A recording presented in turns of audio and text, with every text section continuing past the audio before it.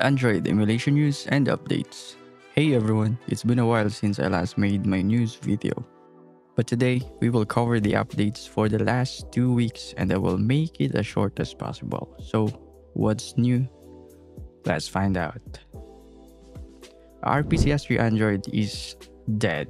Recently, DH, dev behind RPCS3 Android, announced that the project is discontinued. However, this announcement was made on April Fool, so the community thought it was a joke. Based on the announcement, 4 could be merged with RPCSX, a PlayStation 4 with future plans of PlayStation 5 emulation on PC. I believe this will not include these features on the Android version and only PS3 emulation will be supported. Anyways, this is probably just a rebranding of RPCS3 Android to have its own identity. GitHub repository is now available, but no available release out yet. For the meantime, the last release of RPCS3 Android is Alpha 7. There's a lot added since I last covered this on my video, but here's an overview of the updates. This update added settings, edit overlay, and system info. Settings is massive since you can do a lot of tweakings same as RPCS3 on PC. You can change advanced settings like the core, video, and other stuffs too. Custom GPU driver is now also supported. You can install custom drivers under custom GPU driver. Now under edit overlay you can adjust touch controls to your liking. And for the system info, it shows your of course system info. Bluetooth controllers are also supported. However, button mappings are not supported as of the moment as far as I know. X input controller should work straight away. The update also added support for ISO files and extracted folder installation. While I'm hoping for the folder support to use that specific folder for the game files, however, based on testing, selecting a game folder will still extract it in RPCS3 Android data folder, just like the PKG and ISO installation. So it means you still get double storage size if you don't delete your installer. New turnip drivers now available. In the last two weeks, Kimchi released three turnip drivers with the latest Mesa Turnip Driver version 25.1.0 revision 5. This fixes severe stuttering on previous versions and some optimizations and bug fixes. A lot reported revision 4 is broken with ghosting and stuttering issues, so this will probably fixes those. This is also compatible with Winlator Bionic. Speaking of Winlator Bionic, a new version is available. This Winlator is a bit different to the official. You can create a custom Bionic container and have the option to utilize devices proprietary drivers so Mali devices or Snapdragon Elite chipset will have a better chance of running games. I've been using it lately and noticed performance stability and improvements for some games. Anyways, if you want to install it, link will be provided below. Just make sure to uninstall other Winlator versions if you are facing issues with installation. Winlator AfeiMod 10.0 B2 is now available. Updates include change since it draw to accelerated version, multiple variable to choose, and a few more.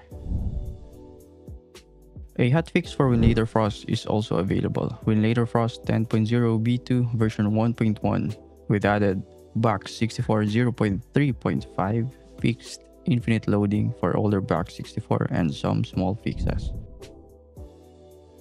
GameHub now supports Steam. Version 3 is now available. It added Steam account login functionality, Steam profile page, Steam game library, local game list page, and a few more features and fixes. To update, just open the app while connected to the internet. Azahar, a 3DS emulator, finally got a stable release, version 2120, and it already got three version updates. Current latest release is 2120.2. Android specific updates includes fixes for audio output issues and added texture sampling configuration option. If you want to see detailed change logs, links will be provided below as well as other stuffs I covered in this video. Switch emulator Sudachi got an update. Version 1.015 is available with added support for Xenoblade Chronicles X Definitive Edition, update to SDL3, and some other fixes. And finally, this one is a controversy. Some of you may already know this, Citron recently purged their Discord server and only those with modified Switch through a verification can join their Discord. They are also planning to blacklist Citron users who detected unauthorized keys. Well, I have no idea how they can detect unauthorized keys, but anyways, the bigger part of this controversy are some revelations. I may be wrong here, but I've done some research. And to keep the long story short, Zephyron, the main dev of Citron, is Phoenix from Uzuy Emulator. The one who also had the drama controversy with the Sudachi developer Jarrod Norwell. They are also using some AI stuffs with their development, and now Camille, who is one of the main developer, is departing the project. Well, they have some sort of issues there, but I don't want to go into detail. And now Camille is planning to develop his or her Switch emulator, which will be called Eden. Anyways, just take it all with a grain of salt be skeptical and do some research if you can. Alright, let me know what you think about all what we covered today.